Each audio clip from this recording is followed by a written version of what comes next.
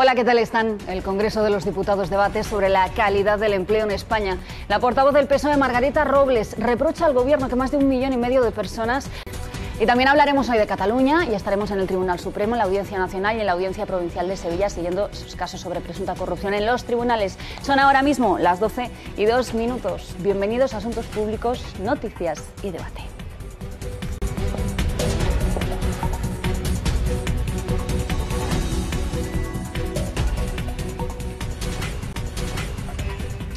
Pues hoy en la mesa de Asuntos Públicos me acompañan Marta Gómez Montero, gracias por venir, José María Brunet del programa, la vais a tener que hacer, pero no la voy a introducir yo, se nos va a introducir desde el exterior. La cuestión esta, hoy comparece en el Tribunal Supremo Mireia Boya, exdiputada de la CUP en el Parlamento catalán, declara ante el juez Pablo Llarena en el caso abierto por el proceso independentista.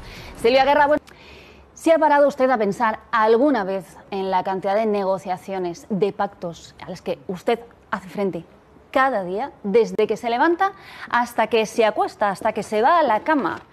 Pues bien, yo lo he hecho después de la lectura de un libro que ha escrito un compañero, Julio Somoano, director y presentador del debate de la UNO, también director, fue director de informativos de esta casa de televisión española. Gracias por estar aquí. ¿Qué tal? ¿Cómo estás? Eh, el libro es este. Miren cómo se llama. La vida es pacto, el arte de negociar en tu día a día y de salir airoso. En este libro se relatan también algunos de los pactos más destacados de la historia a nivel mundial, también a nivel nacional, como el pacto para conseguir llegar al acuerdo para crear una constitución, el pacto para legalizar al Partido Comunista, pero incides mucho, estamos pactando constantemente. Me ha resultado sencillo mientras lo iba leyendo el compararlo con algunos de los pactos de los que hablamos aquí en el programa cada día, es decir, que están en la actualidad también, en las noticias. Entonces, yo te voy citando algunas de las cosas que te he leído y que me llaman la atención y algunos de los pactos de los que estamos hablando y tú me los comentas. La primera premisa está al inicio y está al final del libro. Dices que un buen acuerdo es aquel en el que las partes dejamos de ganar para que ganemos todos. Es decir, la capacidad de ceder es imprescindible para ganar, en cuanto parecen como términos contrarios. Este sería a lo mejor el secreto del el triunfo de la negociación en Alemania entre Merkel y Schulz y llegar a acuerdos es muy difícil. Yo creo que esta es la legislatura de la oportunidad. Y dentro de unos años, ahora no podemos juzgar lo que está pasando. Y el Partido Popular en 2016 para evitar unas terceras elecciones, que también hablas ampliamente en este libro de ese pacto. Fíjate cómo están hoy. Ese pacto fue un buen pacto, sigue siendo un buen pacto. A ver, ese pacto fue un buen pacto.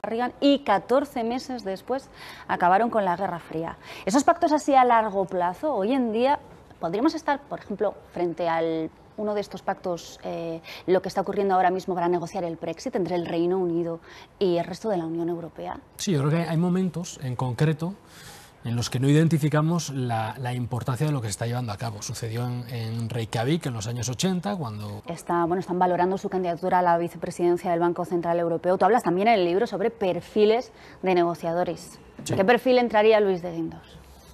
Bueno, los de Guindos yo no lo conozco mucho personalmente, pero sí que es verdad que eh, el negociador, el negociador que de verdad eh, se lleva el gato al agua, y esto, por ejemplo, eh, al hacer el capítulo entre las negociaciones entre el Partido Popular y Ciudadanos, estuve preguntando a miembros de un equipo negociador y a miembros de otro, ¿no? Y todos, todos señalaban tres o cuatro personas claves para que se llegase a un acuerdo, que eran las personas que además de trabajadores, eran personas Mm, humildes desde sus planteamientos que quería activamente. ¿Y qué tienes en el, debate, de la, UNO? bueno, pues hablaremos de la reforma laboral que cumple seis años y que ha protagonizado la sesión de control al gobierno. Hablaremos también de la brecha salarial.